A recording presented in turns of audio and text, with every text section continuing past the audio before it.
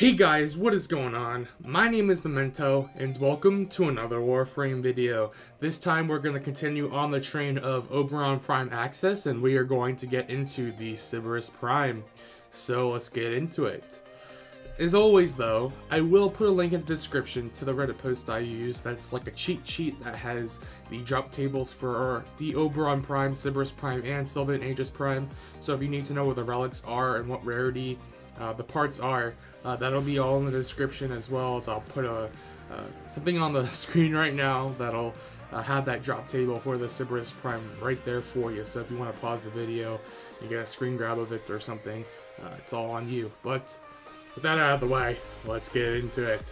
So, aesthetically wise, because we all know that for some people, Fashion Frame is the true endgame, it's amazing.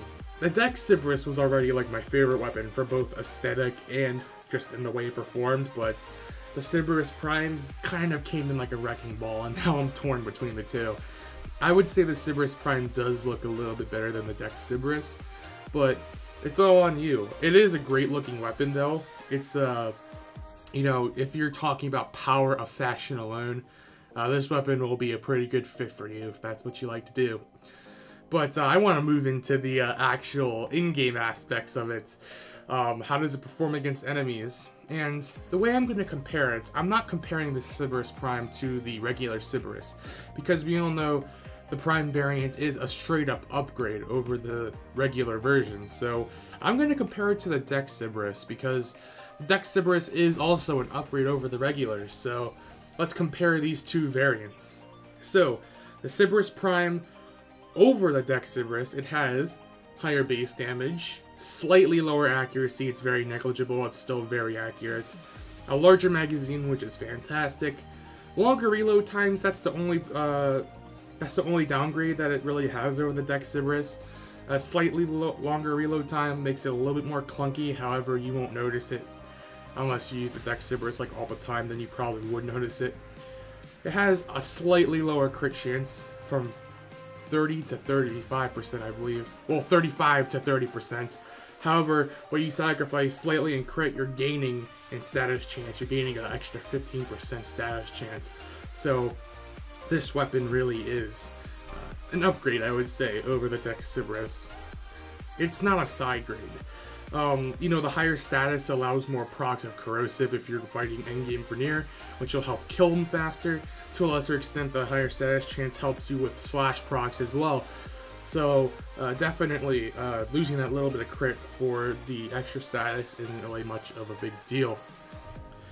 And with status in mind, let's get into the builds that I have. I have two builds really. The first one is a status build, which is you know, just a typical kind of vanilla one, no ribbons, etc. Um, you know, you go for the classic triple S, as I like to call it. You got your Serration, Split Chamber, and Shred. Shred is very important, I believe. It's mandatory on a lot of weapons because you don't want to go through, uh, you know, enemies without punch through. Uh, you know, it's good for crowd control. It's just overall just great. So Shred is definitely going to be on there. And then you have your crit mods, Vital Sense, and Point Strike for crit chance and damage, respectively. Up next is uh, Toss Up for whichever you want, and if you have either or, Bladed Rounds or Argon Scope. I actually prefer Bladed Rounds because I believe it gives you more damage over the long run than Argon Scope, and while I am okay at hitting the headshots, I'm just not as consistent with the headshots, so I believe the crit damage helps a lot more. Since it's only while aiming, uh, you don't really need to uh, aim for the head. You can hit anywhere and it'll give you extra damage in the long run. And then, for your elementals, we're going for 60% uh, element status combo mods. We're going for high voltage and malignant force to give yourself some corrosive damage and your status chance. So you'll be procking some, you know, corrosive, you'll be procking more, and it'll help you kill endgame Grineer a lot better. So that's the build that I typically run with. It's a very vanilla build. You can add a Riven. Uh, you know, you have a lot of flexibility. You can flick, switch between bladed rounds and argon scope.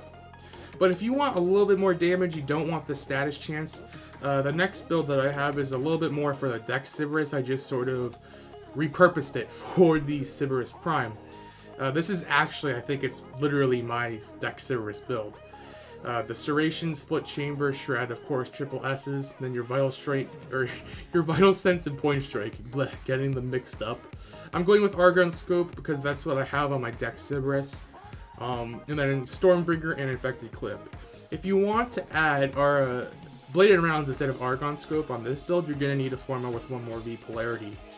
Because my build for the Sybaris Prime is 3 Forma, and I did Forma one of the dash polarities. I kept one in just to have the flexibility of adding uh, a 90% status or elemental mod.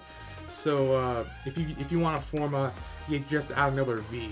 Um, yeah, and it already comes with uh, one V polarity and two dash polarities, which, you know, the dash polarities are nice if you're not going for a status build, even though I believe the status build is a lot stronger.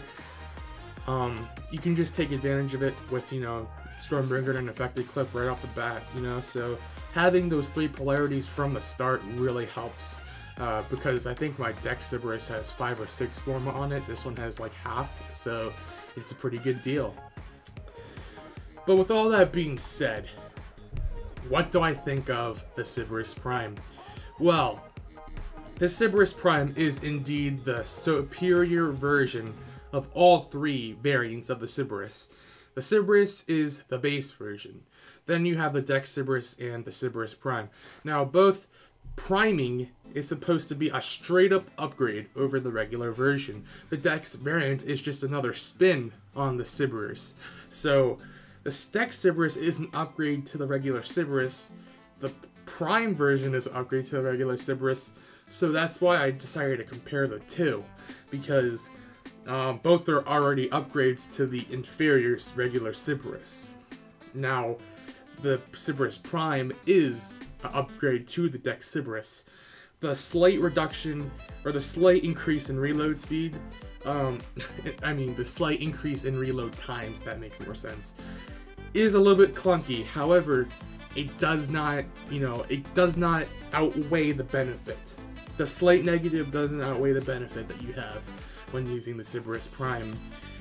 It would be nice for the Dex Sybaris to have a little bit of something to make it a little special over the Sybaris Prime, because there is the argument of you can get the Sybaris Prime whenever, the Dex Sybaris is once a year, so you kind of need to make it a little special. However, I'm like neutral on it, like the, the Dex Sybaris is still one of my favorite weapons, even if the Sybaris Prime is better.